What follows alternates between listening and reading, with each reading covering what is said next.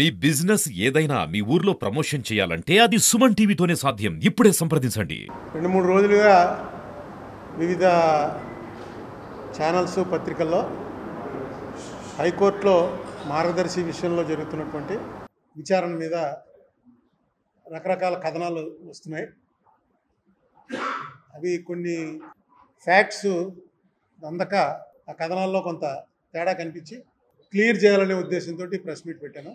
Supreme court వారు ఇచ్చినటువంటి ఉత్తర్వుల మేరకి తెలంగాణ హైకోర్టు వారు విచారణ చేపట్టారు.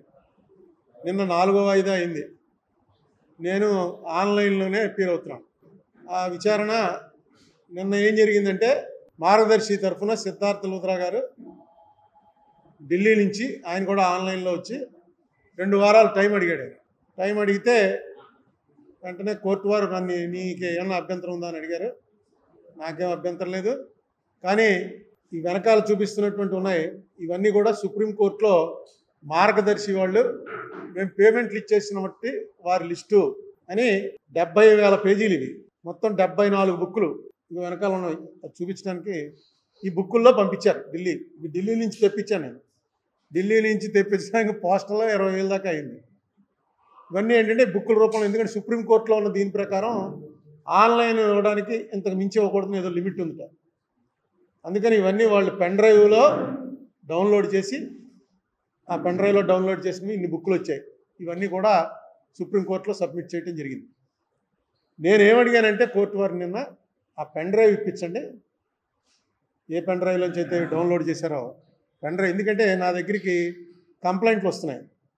ఎవరో వచ్చి ఏమంటే మాది ఒక పదిహేను వేలు డిపాజిట్ వేసామండి. ఆ డిపాజిట్ అప్పుడు ఇచ్చేసారు మాకు. మా దగ్గర ఏ ఆధారాలు లేవు.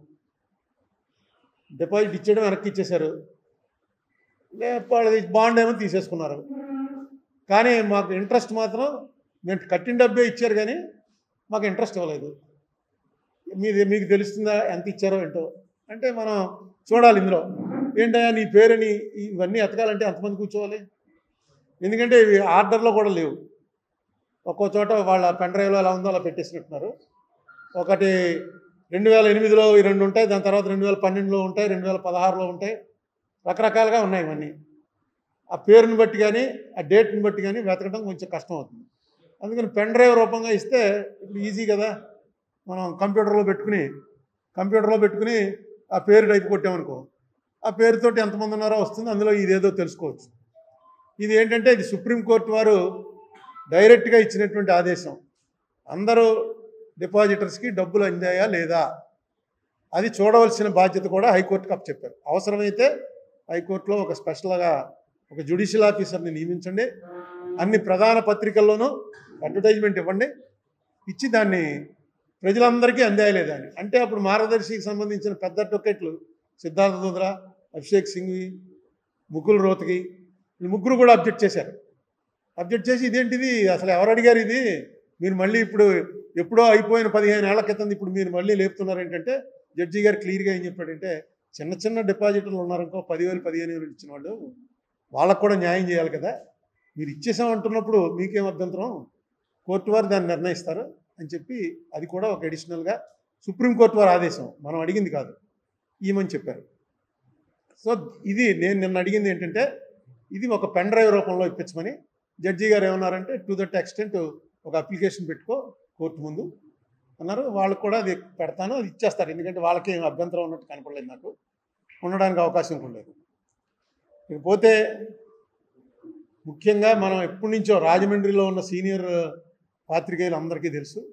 రెండు వేల ఆరు నవంబర్ ఆరు నాడు నేను ఏదైతే కంప్లైంట్ పట్టుకెళ్ళి చిదంబరం గారు ఫైనాన్స్ మినిస్టర్కి ఇచ్చి ప్రెస్ మీట్ పెట్టి చెప్పానో యాజ్ ఇట్ ఈజ్గా ఏం చెప్పానో అదే రిజర్వ్ బ్యాంక్ వాళ్ళు వేసినటువంటి ఎఫిడవిట్లో ఇంకా వాళ్ళు రూల్స్ గీల్స్ కోట్ చేస్తూ వేశారు. రిజర్వ్ బ్యాంక్ ఎఫిడవిట్ మీరు చూసే ఉంటారు? అంత చాలా పేపర్లో వచ్చింది. దాని ప్రకారం క్లారిటీగా ఫార్టీ ఫైవ్ ఎస్ అన్నది prohibiting HUFs from collecting deposits. ఇంకొకటి కూడా ఏమి రాశారంటే రెండు సంవత్సరాల జైలు శిక్ష డబల్ ద అమౌంట్ కలెక్టెడ్. ఏ కారణాల వలన ఇందులో ఏమైనా సంశయం వస్తే ఒక సంవత్సరం జైలు శిక్షణ వేయాలి అని ఏదో కేసు ఏదో కోర్టు చేశారు. అయితే ఇప్పుడు ఈ జైలు శిక్షలు వీటి గురించి నేను ఎప్పుడూ ఇన్సిస్ట్ చేయలేదు. పెద్ద అది కోర్టు వారు డిసైడ్ చేస్తారు. ఇప్పుడు రెండు ప్రభుత్వాలు రేవంత్ రెడ్డి గారు చంద్రబాబు నాయుడు గారి ప్రభుత్వం రెండు ప్రభుత్వాలు ఇప్పటిదాకా స్పందించాల. విచారణ ప్రారంభమై అప్పుడే నెలన్నర దాటిపోయింది. నిన్న క్లియర్గా జడ్జి గారు అడిగారు ఆంధ్ర తెలంగాణ మీరిద్దరికీ రెండు వారాలు టైం ఇస్తున్నాను. మీరు కూడా మీ ఎఫిడేవిట్ వేసి రండి అని చెప్పి క్లియర్గా చెప్పారు. నేను వారిని కోరేది ఏంటంటే మీకు రామోజీరావు గారు సన్నిహితులు అయి ఉండొచ్చు. ఉంటాయి అప్లికేషన్లు అందరం మనుషులమే మనం. అప్లికేషన్లు ఉంటాయి. కానీ యాజ్ చీఫ్ మినిస్టర్ లెవెల్లో ఉండి రిజర్వ్ బ్యాంక్ వాళ్ళు ఇది రూల్ పొజిషన్ అని చెప్పిన తర్వాత నేను మిమ్మల్ని కోరేది ఏంటంటే మీరు ఏది రూల్ ఉందో అదే రూలు అక్కడ చెప్పండి. లేదు మీకు ఏదైనా అవకాశం ఉండి ఈ రూల్ ఉన్నప్పటికీ కూడా రామోజీరావు గారు చేయొచ్చు. రామోజీరావు గారికి మాత్రం తప్పు పట్టలేం మేము అని మీకు అనిపిస్తే అదేనా ఎఫిడేవిట్ రూపంలో వేయండి. మీరు డిలే చేయటం వల్ల ఈ కేసు డిలే అవుతూ వస్తుంది. ఇన్నేళ్ళకి రెండు వేల ఆరు అంటే ఎంత అయింది పద్దెనిమిది ఏళ్ళు అయింది. పద్దెనిమిది ఏళ్ళ తర్వాత దీనికి కనీసం నేను అన్నమాట రైటు అని ఒక మాట వచ్చింది. నాకు పెద్ద రిలీఫ్ ఏంటంటే ఆ రోజు నేను చెప్పింది రైటు. నా మీద ఎన్ని ట్రోలింగ్లు జరిగాయో ఎంతమంది ఏ పార్టీ వాళ్ళు నన్ను వదిలిపెట్టలే? ఇంక్లూడింగ్ కాంగ్రెస్లో నేను ఉన్నప్పుడు కాంగ్రెస్ పార్టీ వాళ్ళు కూడా. అందరూ కూడా నన్ను రాజశేఖర రెడ్డిని రాజశేఖర రెడ్డి పిలిచి నన్ను పెట్టమన్నాడని రాజశేఖర రెడ్డి చెప్పినట్టే నేను చేస్తున్నానని అనేక రకాల ఆరోపణలు చేశారు. అది నిజం కాదని నేను కూడా చెప్పాను. కానీ నా లెవెల్ చాలా తక్కువ.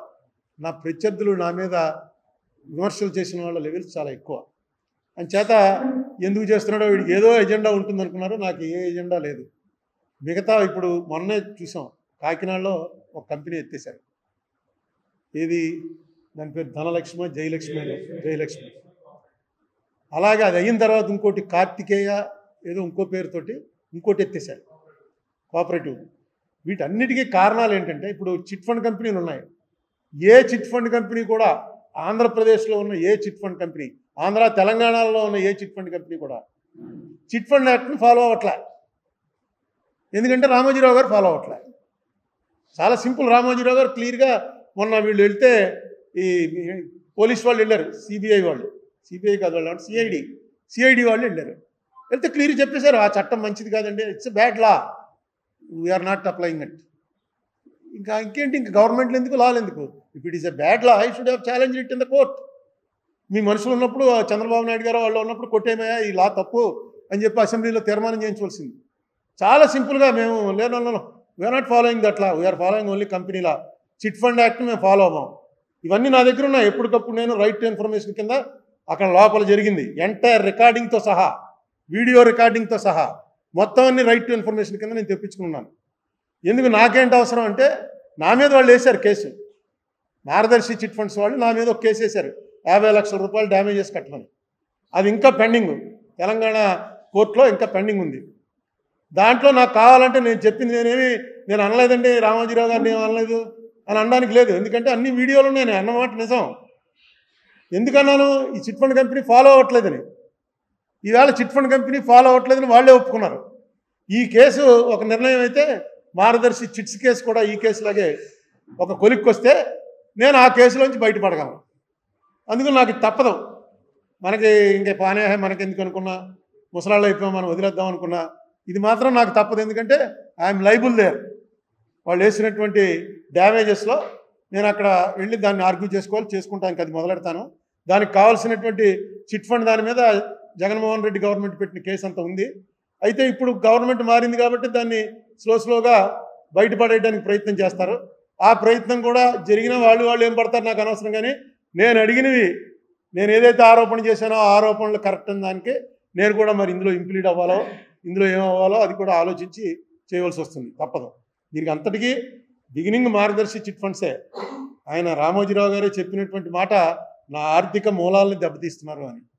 ఆర్థిక మూలం మార్గదర్శి చిట్ ఫండ్స్ చిట్ ఫండ్స్లోంచి డబ్బు వెళ్ళి మార్గదర్శి ఫైనాన్షియల్స్లోకి వెళ్ళింది. మార్గదర్శి ఫైనాన్షియల్స్లోకి వెళ్ళిన డబ్బు ఆయన మొత్తం ప్రాపర్టీలన్నీ కొనుక్కున్నారు. ఇది చట్టవిరుద్ధం. కొనుక్కోవడానికి లేదు. చిట్ ఫండ్ కంపెనీలో డబ్బు డైవర్ట్ చేయటం అనేది ప్రొహిబిటెడ్. ఒకవేళ మనం చీటీ పాడుకున్న తర్వాత వాళ్ళకి కావాల్సిన షూరిటీలు మనం ప్రొడ్యూస్ చేయలేకపోతే ఆ డబ్బు తీసుకెళ్ళి ఒక నేషనలైజ్డ్ బ్యాంక్లో పెట్టాలి అన్నది యాక్ట్ ఆ యాక్ట్ బ్యాడ్ లా అని చెప్పి వాళ్ళు చెప్పేశారు. మా ఇష్టం వచ్చినట్టు మేము పెట్టుకుంటాం. వాళ్ళు అనే ఒక మాట ఏంటంటే మేము ఎవరికి కూడా ఎప్పుడు ఏ రూపాయి ఎగ్గొట్టలేదు. ఎగ్గొట్టకుండా మేము చేస్తున్నప్పుడు మమ్మల్ని ఎలా అడుగుతారు? కానీ యాక్ట్లు అలా ఉండవు. యాక్ట్లు అనేవి అందరికీ వర్తించాలి. వర్తి లేకపోతే కాకినాడలో ఈ మధ్య జరగటం ఏంటి? మొన్న ఇక్కడ సీతానారాయణ దగ్గర ఏదో ఊర్లో వచ్చి చెప్పారు ఒక చిన్న విలేజ్లో మూడు కోట్ల రూపాయలు కలెక్ట్ చేశాడు. కేసు తెలిసి వచ్చింది మీకు? అందరికీ తెలిసి ఉంటుంది. మూడు కోట్లు చిన్న విలేజ్లో. ఎందుకంటే ఆ ఊర్లో ఆయన పెద్ద ఆయన అందరికీ నమ్మకం ఉంది. ఏదో హైదరాబాద్లో బిజినెస్ చేస్తున్నాడా? మీకు అందరికీ కూడా రూపాయి ఇంట్రెస్ట్ ఇస్తాను? మీకు బ్యాంకులో వేసుకుంటే సిక్స్ పర్సెంట్ ఎయిట్ పర్సెంట్ వస్తుందంటే ఆయన పెద్ద ఆస్తులు ఉన్నాయి పెద్ద ఫ్యామిలీ బాగుందని చెప్పి మూడు కోట్ల రూపాయలు ఇచ్చారట ఆ బ్యా వ్యాపారం దెబ్బతింది. ఈ ఆస్తులన్నీ బ్యాంకుల్లో ఉన్నాయి. అయిపోయింది. రోడ్డు మీద ఎక్కి ఎవరిని అడుగుతారు? ఇలా తెలిసి వెంటనే ఇలా కలెక్ట్ చేస్తున్నట్టు తెలియగానే అరెస్ట్ చేసేలాగా చట్టాలు తయారు చేస్తారు. ఇంపాక్ట్ ఏంటి అదే అసలు కథలో బలుపు మేము ఎక్కడ తప్పు చేసామంటే రిజర్వ్ బ్యాంక్ వాళ్ళు ఇది తప్పు అని చెప్పి ఈ రోజున ఏదైతే ఎప్పుడు పెట్టేశారో ఇదే విషయాన్ని రాజశేఖర రెడ్డి గవర్నమెంట్ ఉండగా ఐదు లెటర్స్ ఉన్నాయి. వాళ్ళు రామోజీరావు గారికి రాసినవి మార్గదర్శికి రాసినవి ఆ లెటర్స్ అన్నీ కూడా మన దగ్గర ఉన్నాయి. అదే చెప్తుంది. ఇంకా ఇంకా రిజర్వ్ బ్యాంకుని పార్టీ చేయడం ఎందుకు? రిజర్వ్ బ్యాంక్ అన్న వాళ్ళు రాసిన లెటర్స్ అన్నీ మన దాంట్లో రాసాం ఇదిగోనండి రిజర్వ్ బ్యాంక్ క్లియర్గా చెప్తుంది ఇది ప్రొహిబిటెడ్ అని. అని సుప్రీంకోర్టు వారు మనం అడగలే. మనం ఆంధ్ర తెలంగాణ గవర్నమెంట్ని పార్టీలు చేయండి అన్నాం. సుప్రీంకోర్టులో అక్కడ కూర్చున్న ఆయన ఆయన బాంబేలో చేసి వచ్చేట. ఈ ఈ వీటిల్లో ఈ కంపెనీ లాలో వీటిలో చాలా ఎక్స్పర్ట్ ఆయన. జడ్జి గారి పేరు మర్చిపోయాను. ఆ జడ్జి గారు ఏమన్నారంటే ఎవరైతే కంప్లైంట్ ఫైల్ చేశాడో కృష్ణరాజు అనే ఐపీఎస్ ఆఫీసర్ ఆయన్ని పార్టీ చేయండి. ఇదంతా రిజర్వ్ బ్యాంక్ రిలేటెడ్గా నడుస్తుంటే రిజర్వ్ బ్యాంక్ని పార్టీ చేయకపోవటం ఏంటి? రిజర్వ్ బ్యాంకును కూడా పార్టీ చేయండి. AP government Telangana government reserve bank Krishnaraju నలుగురిని పార్టీలు చేయండి అని ఎప్పుడైతే అన్నాడో అది ఈవేళ అది కూడా జడ్జి గారు చేసిందే. మనం చేసింది కాదు. వచ్చింది రిజర్వ్ బ్యాంక్ వారు ఎఫిడేవిట్ వేశారు. Reserve bank affidavit as per rule వేయాలి. రిజర్వ్ బ్యాంక్ వాళ్ళు వాళ్ళు ఏదో మనం ఎలా చేద్దాం అలా చేద్దాం అంటానికి కొద్దిగా రిజర్వ్ బ్యాంక్ అంటే మనకి ఈ దేశానికి మొత్తం ఆర్థిక వ్యవస్థను నడిపేటువంటి బ్యాంకు. ప్రొహిబిటెడ్. నువ్వు చేయకూడదు ఇది ఆపే అని. అంటే రామోజీరావు గారు ఆపేస్తున్నాను అని ఇచ్చిన రిప్లైలు ఉన్నాయి. ఎప్పుడు ఇది పంత తొంభై తొమ్మిది. తర్వాత ఇరవై ఆరు వందల కోట్లు కలెక్ట్ చేశాను సుప్రీంకోర్టులో మనం నేను వేసిన ఏపీ రీఆర్గనైజేషన్ కేసు ఉంది. ఇప్పుడు వెళ్ళి మళ్ళీ ఆన్లైన్లో కూర్చోవాలి. ఇవాళ ముఖ్యంగా అందులో వాళ్ళు తెలంగాణ వాళ్ళు మూవ్ చే మూవ్ చేసేపోయేది ఏంటంటే ఐదు మండలాలు ఏవైతే మనకి తెలంగాణ నుంచి పోలవరం ప్రాజెక్ట్ నిమిత్తం ఇచ్చారో ఆ ఐదు మండలాలు మాకు వెనక్కి ఇచ్చేయండి అని చెప్పి వాళ్ళు నేను ఉన్నప్పుడు ఒకసారి వచ్చి వాదించారు. ఆ వాదించిన మీ మీడియా అతనే శ్రావణ్. శ్రావణ్ అనేవాడు అడ్వకేట్గా వచ్చి ఆ రోజున సీనియర్ని తీసుకొచ్చి సీనియర్ నిరూప్ రెడ్డిని తీసుకొచ్చి వాదించారు. మా మండలాలు మాకు ఇచ్చేయాలని. ఈవేళ అదే Shravan advocate on record Telangana గవర్నమెంట్కి అడ్వకేట్ ఆన్ రికార్డ్గా నియమించారు అతను. ఇప్పుడు అదొకటి వస్తుంది అక్కడ. అందుకని నేను రిక్వెస్ట్ చేసేది ఏంటంటే జగన్మోహన్ రెడ్డి ఎలా అయితే ఇందులో ఆంధ్రప్రదేశ్ గవర్నమెంట్ తరఫున వేశాడో ఎఫిడేవిట్ ఆ ఎఫిడేవిట్ మీద మీరు కూడా పెద్ద అడ్వకేట్ని ఎవరైనా పెట్టి కంటిన్యూ చేయండి. చంద్రబాబు నాయుడు గారికి నా రిక్వెస్ట్ మీ ద్వారా. ఈ కేసు విషయం వదిలేకండి ఏపీ రీఆర్గనైజేషన్ కేసు విషయం. ఎప్పుడు రోజు చెప్తూ ఉంటారు మనకు అన్యాయం జరిగింది మనకు అన్యాయం జరిగిందని. నేను అదే కోర్టులో చెప్పాను. అది మీరు వచ్చి సహకరిస్తే అదొకటి పని జరుగుతుంది. ఆ ఐదు మండలాలు వెళ్ళకుండా ఆపుకోవచ్చు. లేకపోతే అది కూడా ఐదు మండలాలు కూడా పోతాయి. అదొకటి జాగ్రత్తగా చూసుకోండి అన్నది ఒక ఇష్యూ రెండో ఇష్యూ ఏంటంటే ఆర్టీఐ అతను ఒక అతను రమేష్ చంద్ర అని చెప్పి వైజాగ్ నుంచి అన్నిటి మీద ఆర్టీఐ అడుగుతుంటాడు. మీకు అనేక సార్లు చెప్పాను. అతను ఏం చేశాడంటే ఇండియా టుడేలో ఇండియా టీవీ న్యూస్లో బిజినెస్ టుడేలో వీటన్ని పేపర్లో ఏమొచ్చింది అసలు? ఈ స్పెషల్ కేటగిరీ స్టేటస్ ఎన్ని రాష్ట్రాలకు ఉన్నాయని అడిగితే పదకొండు రాష్ట్రాల పేర్లు చెప్తున్నారు. అవి రాస్తున్నారు పేపర్లో. ఆ పదకొండు రాష్ట్రాల్లో ఆఖరి రాష్ట్రం తెలంగాణ అని ఉంది ఇదేంటో తెలంగాణకి స్పెషల్ కేటగిరీ స్టేటస్ ఎప్పుడు ఇచ్చారని? అతను నీతి ఆయోగ్కో లెటర్ రాశాడు.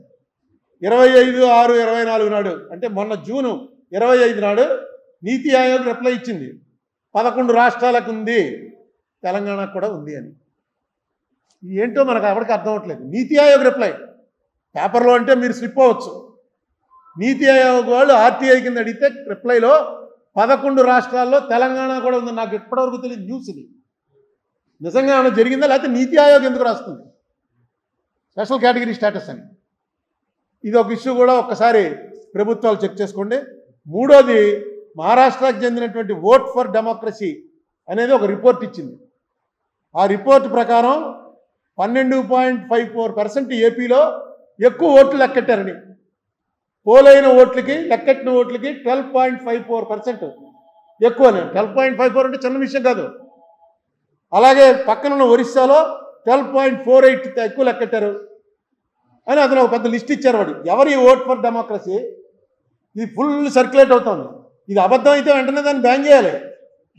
వెంటనే చర్య తీసుకోవాలి. ఆంధ్రాలో పన్నెండు పాయింట్ యాభై నాలుగు ఎక్కువ పెట్టారని చెప్పి అంటుంటే చంద్రబాబు నాయుడు గారు ఇందులో ఎక్స్పర్ట్ ఎందుకంటే ఫస్ట్ ఆయన ఈవీఎంలు తప్పు అని చెప్పింది ఆయనే.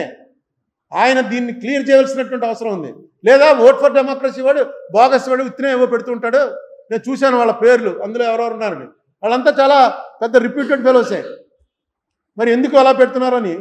ఇంకో విషయం నిన్న బాలినేని అతను వేసినటువంటి పిటిషన్లో ఇప్పుడే దేశాయ్ గారు పంపారు నాకు.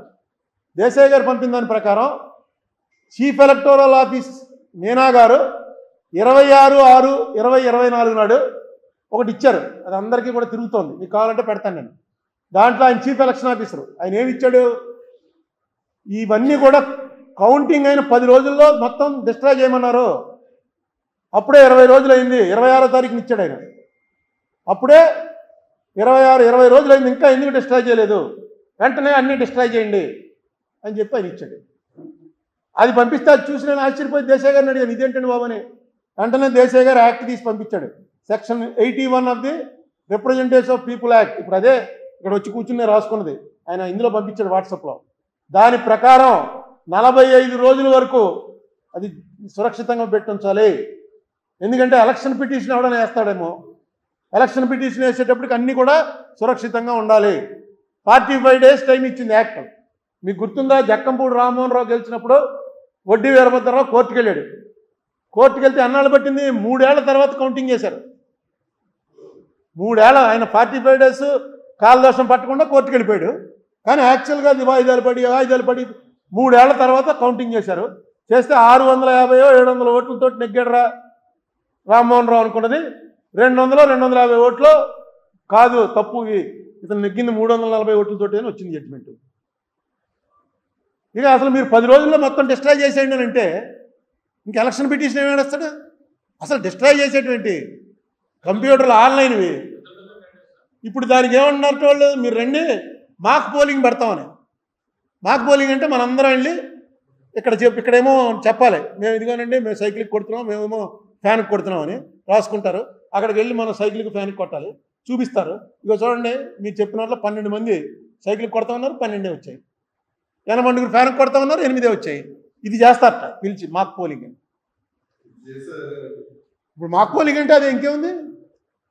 మాకు పోలింగ్ ఎవడ కావాలండి? ఆవేళ పోలింగ్ అయింది కావాలి కానీ ఆ చిన్న చిన్న చిన్న స్లిప్పులు వస్తాయి. ఆ స్లిప్పులు ఎందుకు? ఇలాంటి కంటింజెన్సీకే ఇలాంటిది ఏమైనా వచ్చినప్పుడు స్లిప్పులు లెక్కడానికి ఆ స్లిప్పులు అన్నీ డిస్ట్రాయ్ చేసేసారట అదే ఇది ఇదంతా ఇదంతా అసత్య ప్రచారం అని చెప్పవలసింది ఎవరంటే దీని మీద ఎక్స్పర్టీస్ ఉన్నటువంటి చంద్రబాబు నాయుడు గారి కెపాసిటీ ఉంది. ఎందుకంటే ఆయన ఇంతకుముందు కంటెస్ట్ చేశారు. పాపం ఆయన ఎవరినో ఒక ఆయన్ని అరెస్ట్ చేసి జైల్లో కూడా పెట్టారు. ఒక ఈవీఎం మిషన్ సంపాదించాడు ఆయన. పేరు హరి హరి హరిప్రసాద్ ఆయన్ని నాకు కలిసాను ఆయన్ని హరిప్రసాద్ అని ఆయన ఇందులో చాలా స్టడీ చేశాడు. స్టడీ చేసి ఎక్కడి నుంచో ఒక ఈవీఎం మిషన్ పట్టుకొస్తే ఈవీఎంను దొంగతనం చేశావు నువ్వు అని కేసు పెట్టి అతను కొన్నాళ్ళు జైల్లో కూడా ఉన్నాడు. టూ థౌజండ్ నైన్ ఎలక్షన్ అయిన తర్వాత. వీళ్ళకి మొత్తం చంద్రబాబు నాయుడు గారికి అవగాహన ఉంది. ఈ ఓట్ ఫర్ డెమోక్రసీ అనేది తప్పు అయితే తప్పు అని చెప్పండి. ఇది తప్పుడు ఆర్గనైజేషను. ఇలాంటి అన్నోక అపోహలు రేకెత్తించి ప్రజల్లో నోటుకొచ్చినట్టు చేస్తున్నారని అది చెప్పండి.